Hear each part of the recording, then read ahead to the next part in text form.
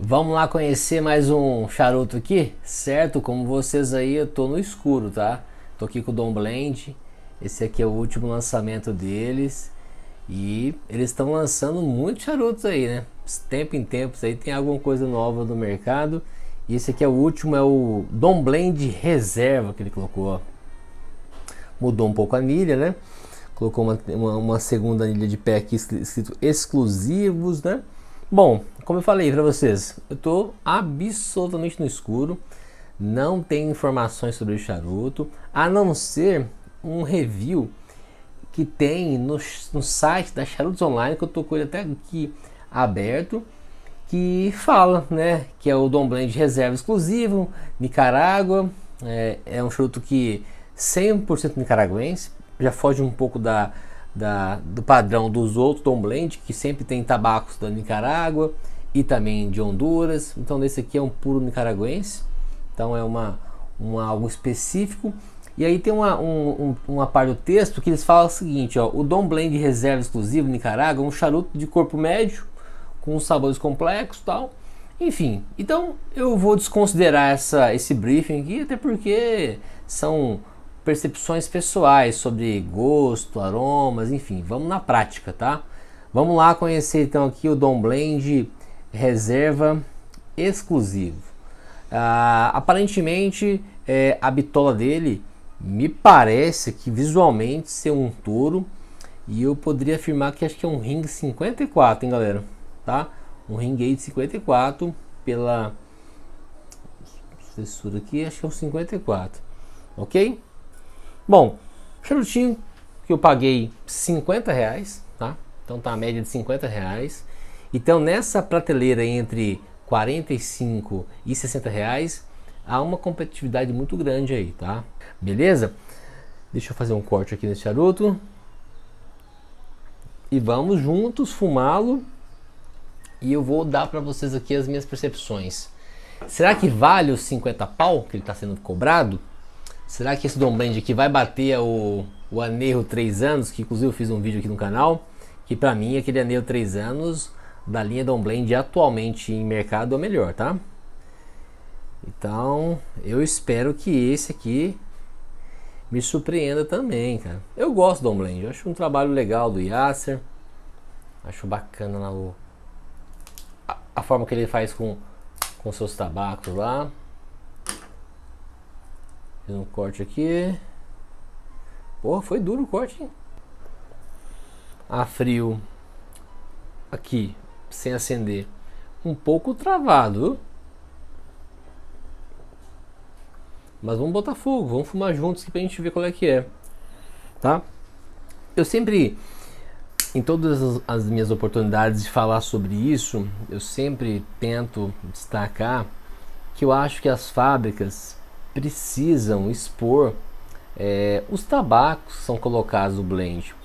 Eu sei que algumas coisas são bem particulares por questões de blend e também exclusivos, né? Mas acho que o consumidor ele não pode ser mais subestimado. O consumidor tem que saber aquilo que ele está consumindo, tá?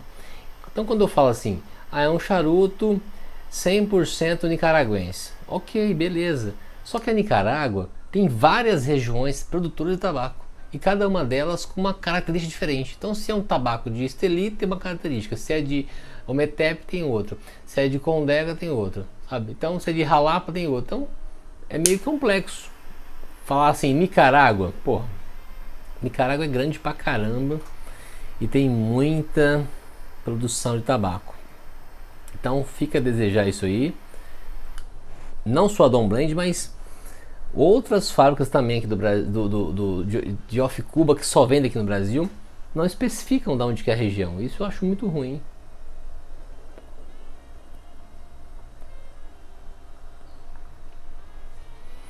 Mas vamos fumar, né? Vamos fumar aqui o charutinho.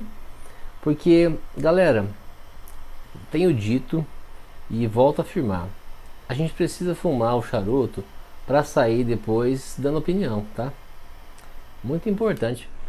Falar sem fumar não dá, cara. Então tem que ter pelo menos uma, um mínimo de, de pô, educação. Os amigos aí, antes de sair criticando alguma coisa, fumar, né, cara? Fumar, ter percepção e tal. E eu ainda acho que eu tô errado ainda, que fumando um só. eu devia ter fumado mais de um. Mas vamos lá.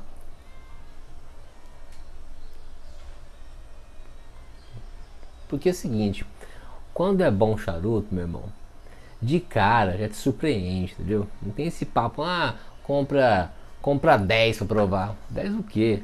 Você comprou um charuto, gostou, é bom. Então tem que ser tiro certo, tem que comprar um e tem que ser acertado, tem que ser bom. Porque se for ruim, o cara não, paga para ver mais, né? Vamos lá.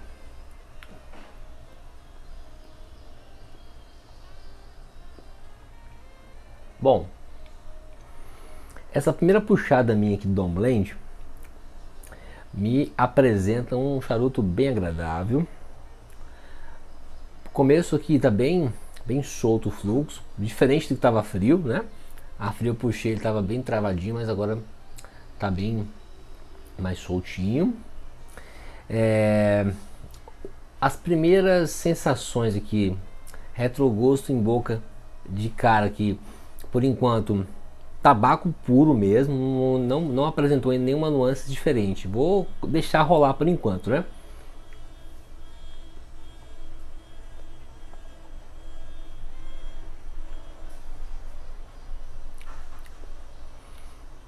Agora chegando alguns toques adocicados. Eu acredito que seja por essa capa aqui. Vou até puxar um pouco mais aqui. Tô até salivando muito na capa, isso é legal, viu? Ponto bom.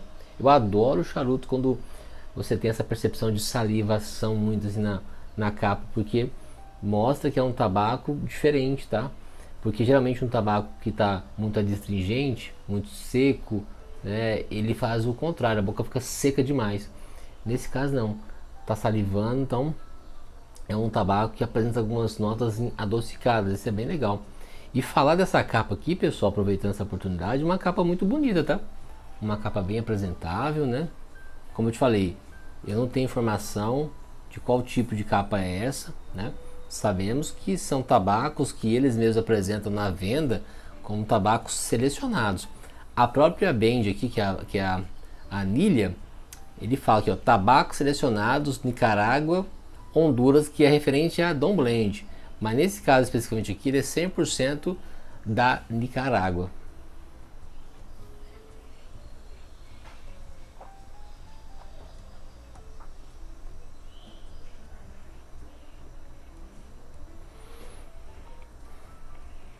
Tá bem fumacento. E duas notas muito típicas aqui encontradas nesse início.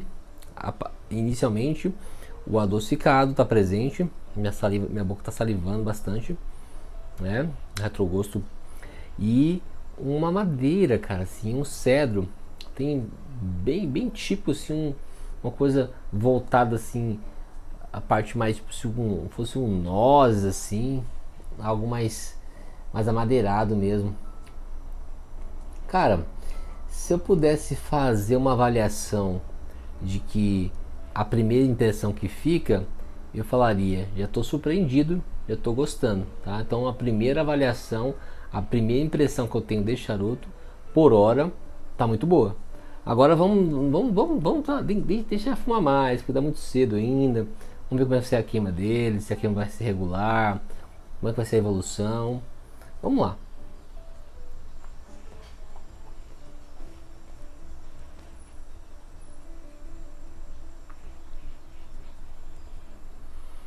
inicialmente aqui a cinza tem uma tendência a fazer uma canoagem aqui, ó, a uma queima irregular, vocês podem estar observando. Pode ser que ela tenha uma certa dificuldade, mas eu vou deixar rolar aqui, porque está bem carbonizado, está bem aceso, então eu acendi bem. Vamos lá, vai ser a minha, minha, minha próxima é, é, pauta de avaliação deste charuto com relação à construção. Por hora, a primeira impressão, primeiro contato, primeira baforada, primeiro terço está muito agradável, gostoso, leve, muito suave também, aromático e saboroso. E o sabor dele passa por notas adocicadas inicialmente, principalmente, e um, um leve é, amadeirado aqui, um cedrozinho tá bem, bem, bacana.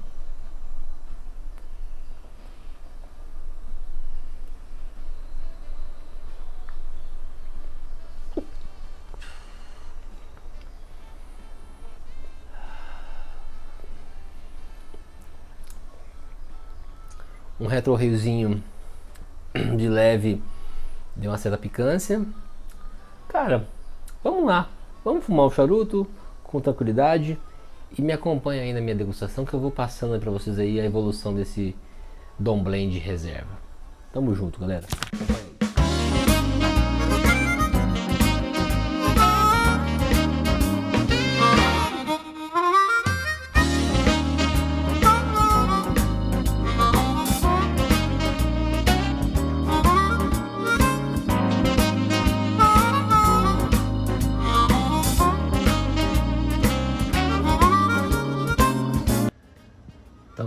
Ó, eu percebo que a cinza está um pouco querendo quebrar, um pouco não, ela vai quebrar, vai cair, ó. Então ela está esfarelando, tá? Não tá uma queima bonita, não, mas tá regular, tá, né? Mas a cinza não tá 100% não. Mas ó, galera, primeiro terço tá indo pro saco. Agradável, tá? Tá gostoso, tá gostoso o charuto, tá? Tá bom.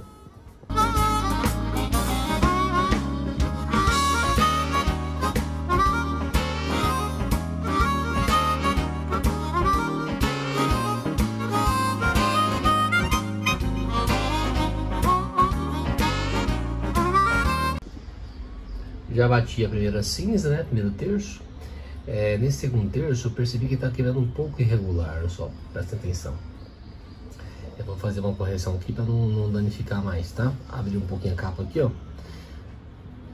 Então eu vou fazer uma correção básica, tá? Mas ó, é, as minhas primeiras impressões, cara, eu continuo com elas, tá muito gostoso, bem agradável e tá predominante o adocicado, tá?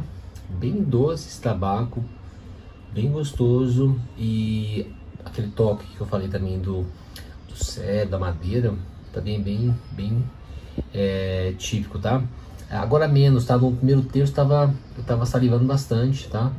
Agora menos, ficou um pouco mais equilibrado em relação a isso. Mas ó, por hora tá bem suave, bem agradável.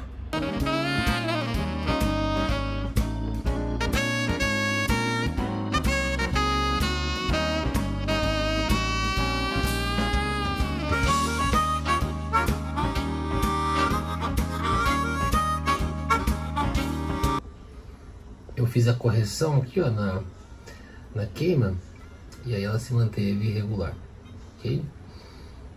Então não comprometeu. O fluxo continua muito agradável, tá bacana só, tá bem, bem soltinho.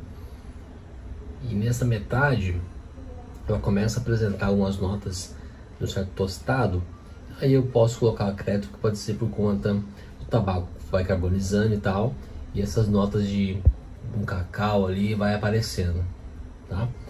Mas, como eu falei no início, um charutinho que me agradou, tá? Tá, tá gostoso, tá indo bem. Então, eu tô fumando ele, tomando uma Spaten, né, cervejinha, tá aqui no copo ao lado, tá?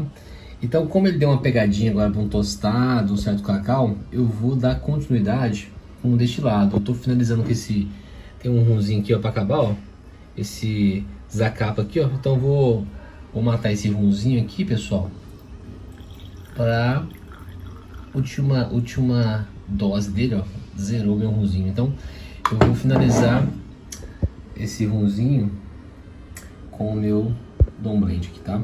Eu acho que essa combinação aqui vai ficar muito boa. Tá? Porque deu uma pegada de um tostado agora, então o rum tem um adocicado, vai equilibrar bastante. Eu conto para vocês daqui a pouco mais sobre isso. É incrível como o destilado ele equilibra completamente uma harmonização com o charuto. Aqui nesse, nessa metade, né, já tinha batido a cinza, certo? Indo para metade literalmente. Eu vi que ele deu uma pegada um tostado, um cacau, entendeu? Então eu coloco isso por decorrência da, da carbonização desse charuto, porque ele está evoluindo, então está queimando mais, então apresentou essas notas de um tostado.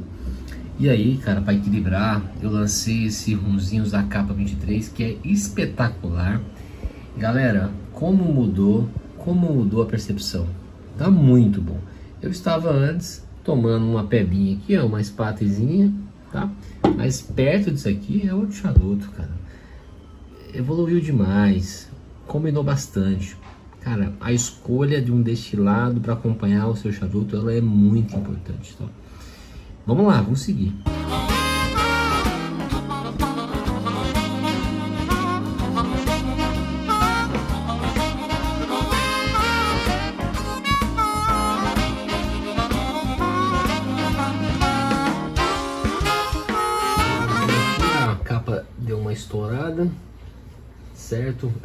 Correção e essa parte aqui, ó, ela estourou bastante.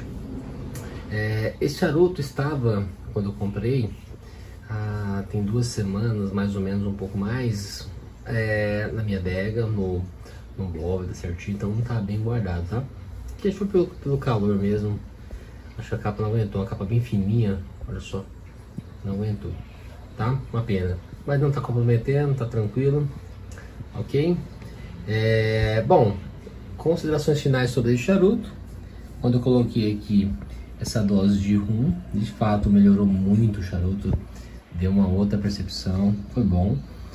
Então vamos concluir aqui, Dom Blend, esse Dom Blend reserva, é um novo lançamento da Dom Blend, custa aí média 50 reais. Eu acho que é um preço justo pelo que está entregando o charuto.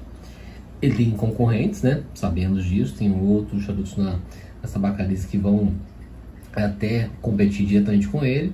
Mas é um charuto que eu comprei, fumei a primeira vez, me agradou, gostei e com certeza eu repetiria uma segunda compra. Então fica aí galera, ó, mais uma opção de mercado para vocês, a linha Dom Blend, nesse caso aqui a reserva, que é um Dom Blend 100% Nicarágua. Beleza? Um abraço a todo mundo aí, tamo junto e até a próxima.